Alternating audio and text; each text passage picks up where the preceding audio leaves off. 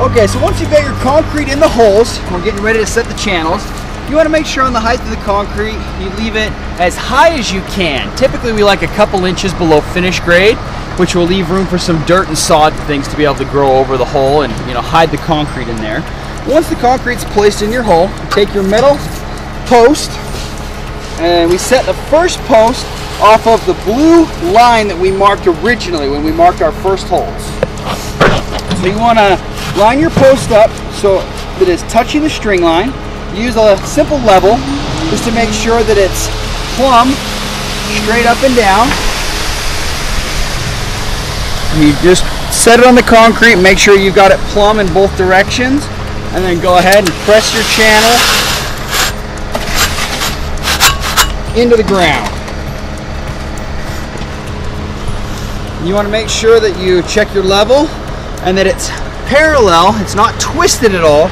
You can see here if I twist it, you can see how it's not running even with that string line there. You want to make sure that your channel's nice and plumb and straight on with that string line. That's going to ensure that you get a nice straight fence running along that property line. Now the channels, when the concrete is wet, you need to get them close to level and as the concrete cures, you need to come back and do a double check because the channels have a tendency to move just slightly while the concrete's still in its curing process. So typically what we do is we'll lay out a line of channels, we'll set all the channels, and then we'll come back and double check them one more time. This gives the concrete time to cure up just a little bit and make sure that you're, they're going to be able to stand straight up and down. So once you have your first um, post here in place, you want to take your jig.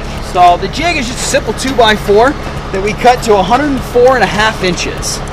So at 104 and a half inches, if you're touching the previous channel, that's going to give you the proper spacing of where the next channel needs to sit. And then you just repeat the process here of setting the channel in, make sure it's nice and plumb, and touching the end of the jig there. That's going to ensure that the panels fit when you come to install the fence. So once again, use your level, double check in both directions, make sure the channel is nice and plumb, and then simply press it into the concrete. Once you've got it down in the concrete, make sure it's running parallel with that string line. And once again, check your levels to ensure that you have a nice plumb fence. Now as far as the heights of the channels, there's no set height of where it needs to be.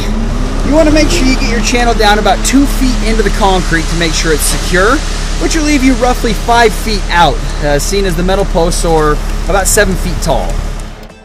And also when you're setting your channels, you want to make sure that you put the four inch wide side running in line where you want the fence to go because the panels are four inches wide so they'll match this dimension here so the skinnier side, the 3 inch side, is going to be touching your string line, and the 4 inch side is going to be running in line with where the panels will be